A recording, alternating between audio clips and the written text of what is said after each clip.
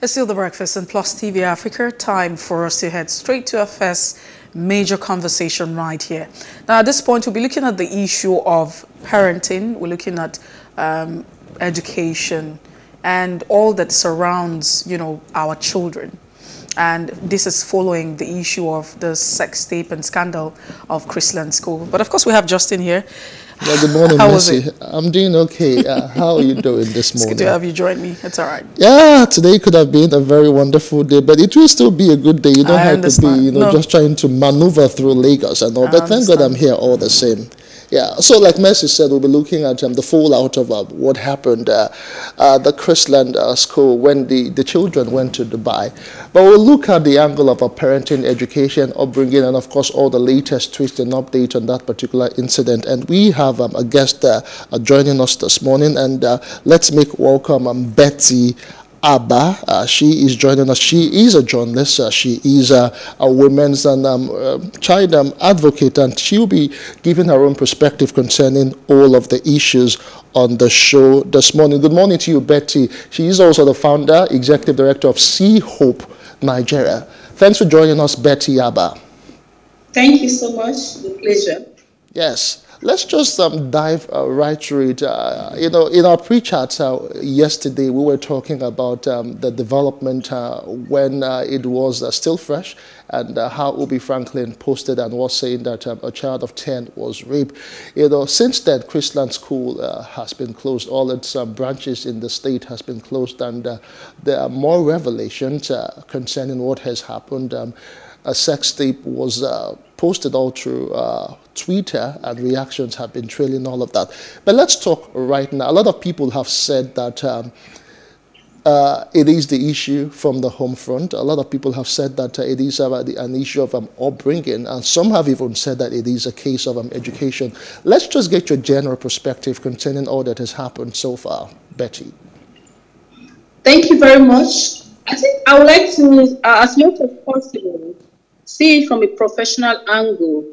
And um, that is to say, in all of this, what should be uh, at the back of our mind should be in the interest of the minor or the minors that are involved in this uh, very unfortunate um, incident. um, will blame the parents because um, I understand uh, that the girl even has a, um, a- um, think uh, a social media a handle. I've forgotten the name of the place. And she has over 500 videos. Many of the videos shot at home, shot in the school, and all of that. So where were the parents um, in all of this? I saw there's a failure on the part of parenting, no doubt. And then also look at it from the angle of um, School. They never handled this case well, and a lot of scandals have trailed Chrisland, unfortunately, in the past, which they never handled well. In the first place, why did they leave minors unattended to um, on a foreign trip? They went to Dubai, and then these children had the liberty to roam around in hotels, uh, girls going to boys' room, and all of that. Why did that happen? And then when this unfortunate incident uh, came to light before the school, um, I understand that um, from the parents, from the mother's um, explanation, they never knew they were kept in the dark. And then these children were take, uh, the girl was taken on a for a pregnancy test about two or three times without the parents' um, knowledge or consent. And then uh, they resorted to um, stigmatization, they resorted to blackmail, they resorted to threatening the girl to keep mute and all of that. I, I, I'm not, I keep asking, who are the handlers of uh, Chrisland School? Who are the advisors of Chri- Chrisland School? We saw a very scandalous case that happened uh, about two, uh, a few years ago. A, a teacher that was accused of um, raping a, a, two-year-old girl or sexually molesting a two-year-old girl, child defilement. And the school went all the way to hire a senior advocate uh, of Nigeria, a lawyer, big lawyers, and spend millions of naira, obviously, to defend this teacher. At the end of the day, he was convicted to 60-year imprisonment by the Lagos state government after there were clear evidence that he actually did this. So, who are the advisors of Chrisland? How come they are not able to handle cases like this? And also to say that um, the rest of the society, we also fail our children, we fail this girl, we fail as many people as were involved in that uh, scandalous uh, sex tape. Who were the boys? Who were the people that put it out, that put the video out? And why are we as adults, as standards by, why are we sharing it? Why are we doing a, uh, mobbing? Why are we mobbing the girl? Instead of seeing how we can offer help to this girl. She needs help, her parents need help, the, the, the, the boys that were involved in this in this thing need help. I understand the girl just 10 year a 10 year old girl. You can imagine the level of moral decadence of the girl and every other person involved. How uh, where were the parents of these children in all of this? Where is the school in all of this? Because that the, the, the, entire act, the entire action did not start at that uh, Dubai hotel uh, sex tape or sex uh, uh, scenario it, it's, it's probably something that's been ongoing for years. And I understand that many of these elite schools, the teachers do not have, cannot correct the students because they, they, they are from very big and influential homes. And the school will not allow the teachers to, to, to correct them. So because they don't want to lose their customer. When you are running a, a an educational um, institution, you are not just uh, uh, in business. You are there to mend lives. You are there to train generations. So what is the duty of care of Chrisland School in raising, raising these children? The same way we saw what happened at Dowen College. What is the duty of care for this uh, school that they will not correct young people? That they will allow them to, to, to, to, to do whatever they want and the teachers are not in a position to correct them. So I'm happy that the Lagos State government has shut down the school so that they can have a review of the, their fundamentals their reason, their motivation for setting that school up in the first place. And I, I think that um, maybe at the end of the day, uh, the school will be better for it, the children will be better for it, and even the rest of the society will be better for it. The people that are busy sharing and um, sharing this uh, very terrible video. I haven't watched it and I don't intend to watch it. But I think we should be less judgmental. We should look at solutions. Thank you. All right, so um, let's also look at the fact that we're in a technology-driven period or age where you have technology, technology has taken over, and you cannot also separate that from the fact that these kids need to learn. So um, what do we now do? So technology backed up with smartphones uh, that has access to this uh, children's hand. Uh, how, how do we now um, control all of this in, in the case of raising our children? It's extremely hard. It's extremely hard. The way you are raising a children in this age, you have to go the extra mile to ensure that you are not raising um, uh, a children that will contribute more to the moral decadence of the society. That you're not raising children that will give you heartache and probably make you die for your time. You have to go the extra mile. And uh, over time, there, are parental controls over phones, over devices. How many parents have been careful enough to even study this in order to apply it? We've had cases of children who are addicted to pornography, to pornographic sites. We've had cases of, um, some of those cases that uh, we've handled in the past is because they, they watch these things on their parents' phone. So what example are the parents setting for their children who have young, impressionable children, uh, persons around you, and you are putting pornographic uh, videos on your phone? You are putting no, very graphic videos on your phone, and this student can access it. So uh, it has to. There has to be a level of control over the. I mean, very strict control over what they can view on their phones.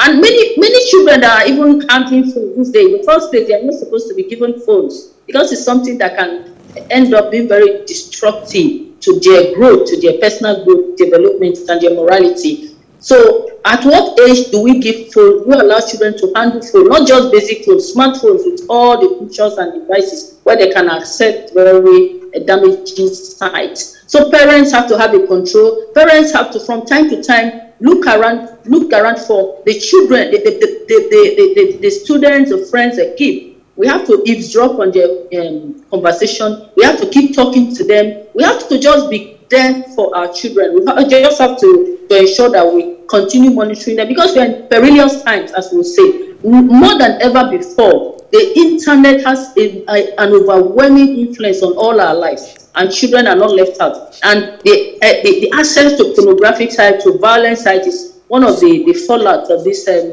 uh, the, the, the, the impact of the internet.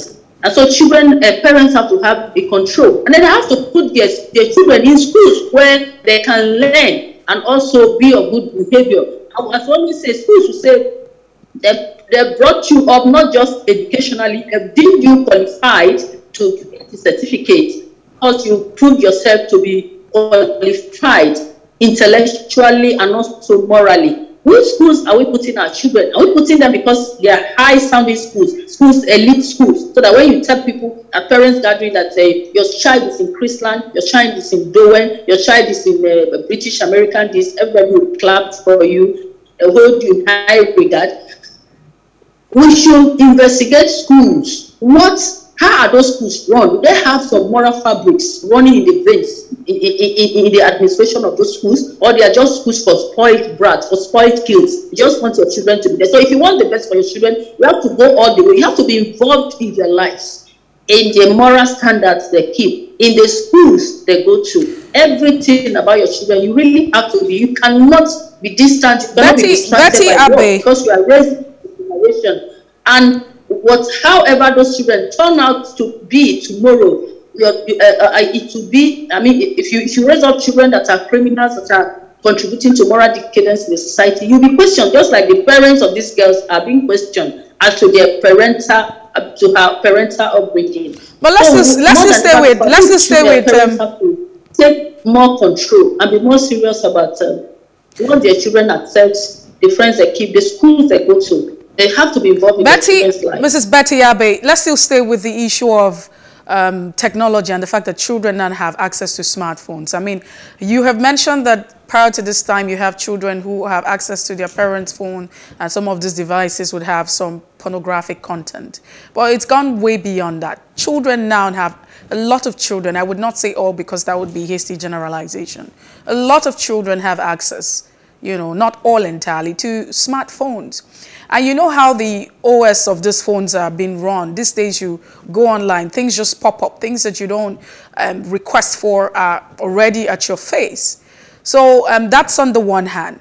And on the other hand as well, should we come to a point where we have developers, and this might not necessarily be for us as a country because not that we are developing all of this, but should we get to a point where we say developers should begin to consider um, creating phones or developing phones that would be children friendly, running from the OS with you know friendly apps and forbidden content for children.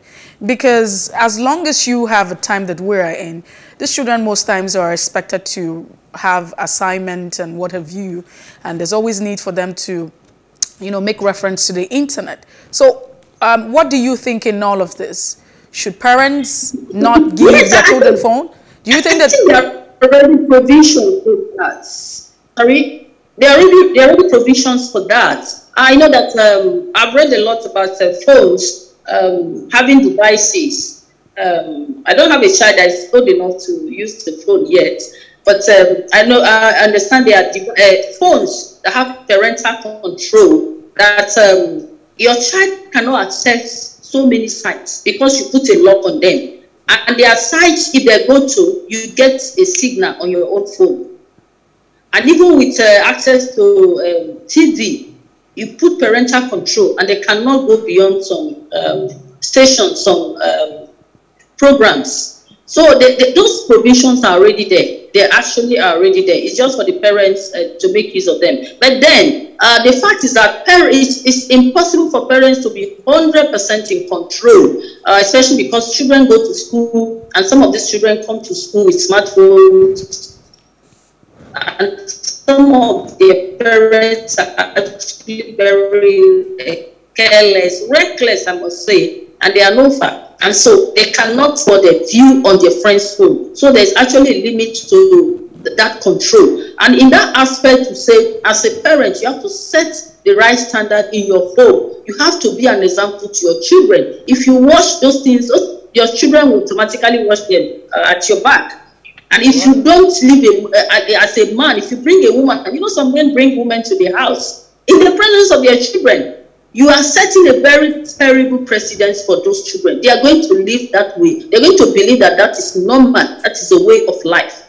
And so we, we parents just have to try the most that they can. And then the parents, apart from uh, putting strict control on phones, make sure that their children go to clubs where they are mentored, where they, they are given orientation about how to live a positive life, about how to live a purpose-driven life. Children's camps, uh, clubs. I always say that I'm a product of uh, the Sunday school club from the Methodist Church where I grew up. And those, the moral standards that were instituted, the moral standards that were taught to us, everywhere I go in the world, I hold those standards very dear to my heart. They define my life principle.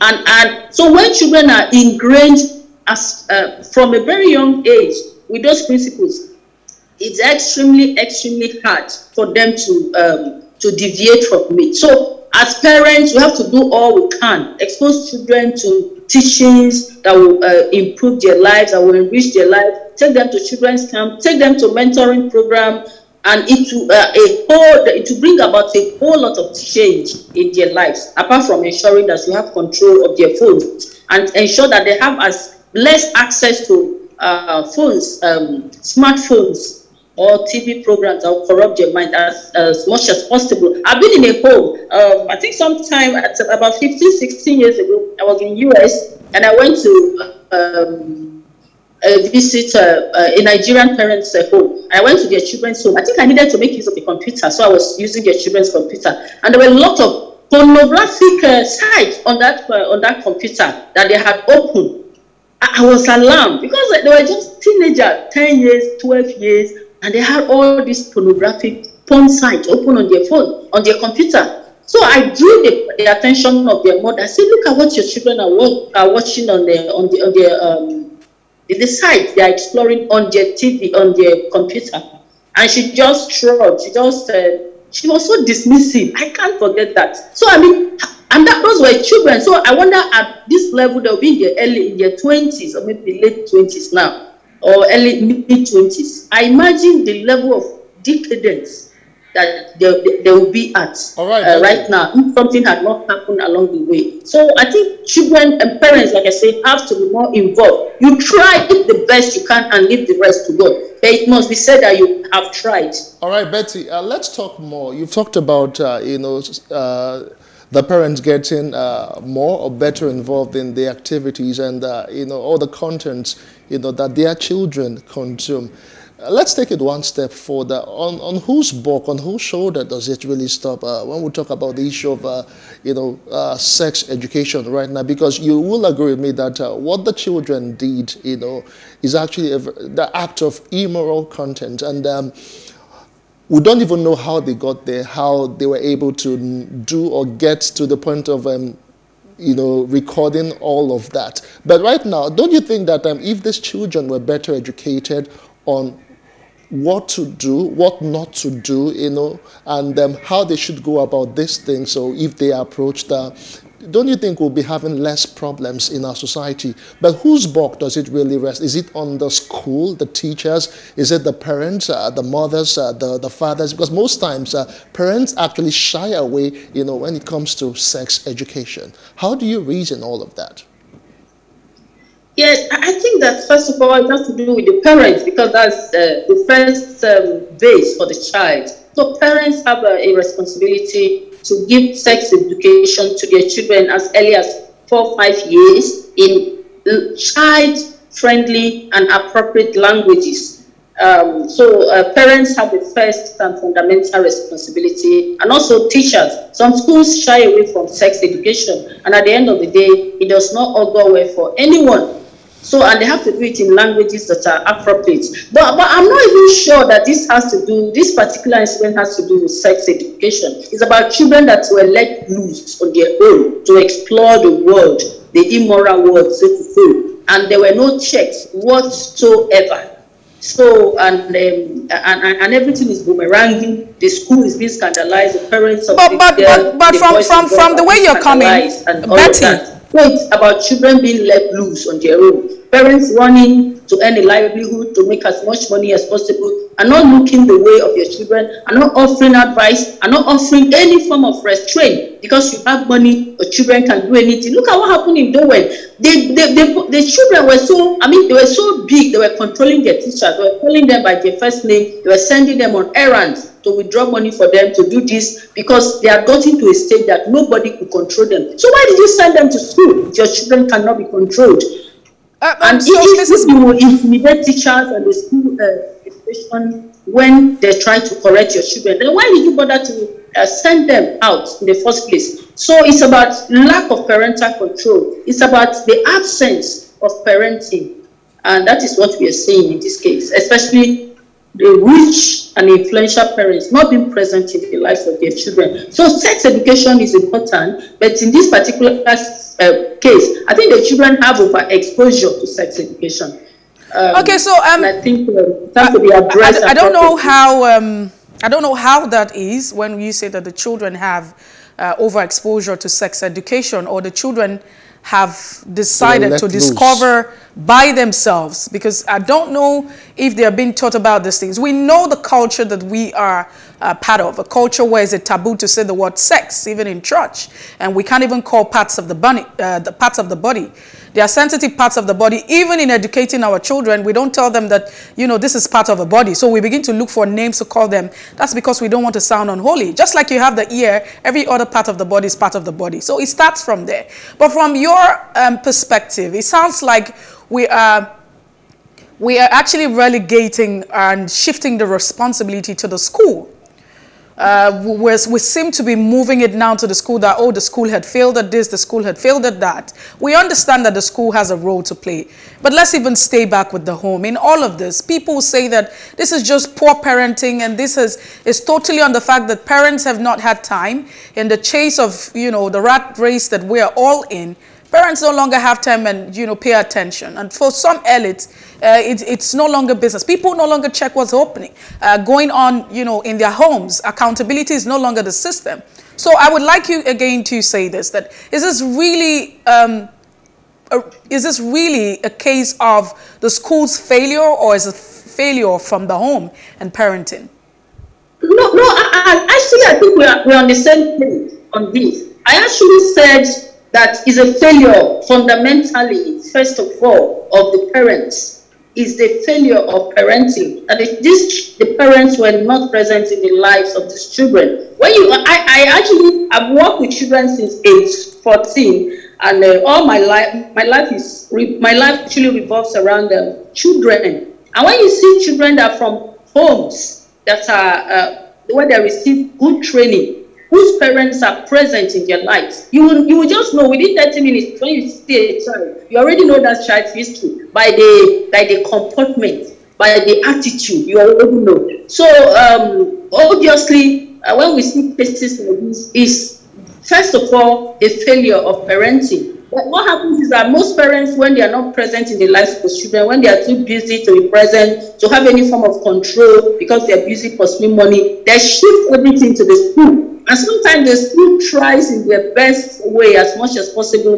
to correct, to bring up these children, to mold them as much as possible. And sometimes they succeed. But um, in, in, in, in some cases, the children are just completely out of control, that the school have no control and they cannot help whatsoever. And especially when the school also relegates its responsibility, because in all of these, the school also has a duty of care. The school, because children actually spend more time in school so what, what do, do the school perceive to be their duty of care? How are they helping these children to grow, whether the parents are present in their lives or not? So it's a two-way thing. The parents have a role, and um, the, the school also have a role to play. So when we and, and, and, but what we've seen in this particular case is there's a there's a, an absolute or a near absolute failure on the part of both parents and all right Betty. So they all have to sit up. Like I said um, my, my, position in all of this matter is can we look for a position? And what the Lagos State government the press statement they put out yesterday was just excellent. All right they um, are focused all right, on Betty. finding solutions psychosocial support for these children. And that is where it should start yeah, still talking about solutions. Uh, let's uh, talk about the ways forward right now. Um, the deed has been done. These children have been exposed. Uh, the girl is in the middle of all of this, and also the boys. Now, what do we do for these children? How do we begin to maybe restructure their mind? Uh, because uh, somehow they no longer have their own privacy right now. And those boys uh, who could actually go to the extent of recording, you know, such an immoral act, uh, how to begin to uh, reform them and so that they actually would live better lives. They're just children and they have a long way to go, you know, in building and molding, you know, their lifestyle. So how do we help these children? Thank you very much. Um, I think, like I said, I just uh, mentioned earlier, the Lagos state government has taken the, the right step by shutting down the school so that they can reappraise the entire situation, even the fundamentals of the administration of uh, Chrisland School, because of these uh, scandals, these horrible scandals that keep coming out from that school. Um, because I believe there's a major default, there's a major dysfunction in the administration of Chrisland School and the motive why they set up that school. They really have to reappraise it. And maybe the Lagos state government to help them um, in that process. Uh, so I, I, think, first of all, we have to find solution. And the Lagos state government in the press statement by the uh, Domestic and Sexual Violence uh, Agency said they would provide psychosocial support for the children psychological, they'll have uh, psychosocial sessions with the children. So because these children need psychological support, they are minors, whichever way you want to look at it. That's why this, when this girl stabbed her husband, uh, keep her husband in Kano, the, uh, is it Safia also, the that little 14-year-old girl, I killed her, her husband in Kano some years ago. She was treated as a minor. She was sentenced to how many years imprisonment and all of that. At the end of the day, she was uh, she, she wasn't convicted anymore. She was set free. She was acquitted because she is a minor. So these are children that are in conflict with the law, uh, engaging in that kind of horrible act, and then uh, also putting it out, uh, videoing it and putting it out on social media. And I understand it even uh, attracts 14 year imprisonment. But these are minors, and we cannot apply the same rule to them. What they need is uh, help psych psychological help. So, and I'm really happy that the Lagos State government has promised to provide that help in the course of their investigating um, this uh, very horrible uh, scenario that we found ourselves in. So, uh, first of all, they need that uh, psychological help. Their parents also need help. The parents of the girl need help because the contents are already out. Our name is out in the public domain and all of that. I guess picture also. And so, and it's not good. It's extremely damaging. So they need help and they need all the parenting advice that they can get. And then the school needs us to, uh, to sit up. I'm sure they will, because I keep wondering, who are the advisors of Chrisland School? Who are the advisors of Chrisland School? How can your, your a, a baby, a two-year-old girl in your school come up to say she had been sexually molested by this man over a period of time and she kept maintaining it even when she got to age four. And then you kept uh, uh, threatening her mother you kept intimidating her mother. And you went all the way to hire a senior advocate of Nigeria to defend a pedophile in court. What kind of school are you? What kind of educational institution are you running? What is your duty of care to these children? And I just heard yesterday another terrible news. One of the students of Chrisland School impregnated um, a girl in that school, her, his mate. And when they had an emergency PTA meeting, the owner, the, the, the head of the school told them, I'm really happy that this does not involve one of my teachers. And so let you go and sort out yourself. Can you imagine that? So what is your duty of care? I keep emphasizing right, it. What is your duty of care? So right. I think uh, Chrisland school should be investigated. Chrisland school should be put on the right path because right now, All right, thank you so much. fundamentals is actually shaky. It's actually faulty. All right, thank you so much. Uh, indeed, uh, the Lagos state government is doing um, all the investigations to, so we can get to the root cause and, uh, you know, if there are sanctions, uh, you know, to be meted out to whoever or to whatever, it should uh, be done. And of course, uh, the children who are the center of this all, we need to ensure that um, they are safe and of course they are, you know, rehabilitated. Once again, we must say a very big thank you to you, Betty Abah. She is the founder, executive director, Cee-Hope Nigeria. Thanks for sharing your thoughts with us today. Hey, thanks. Thank you so much. My pleasure. Bye. All right, it's still the breakfast on Plus TV Africa. We're staying on social issues on the show today. We'll take a quick break. When we return, we'll be looking at um, the role churches can play in the wake of all of this uh, domestic violence that is plaguing our society. In a moment, to join us again.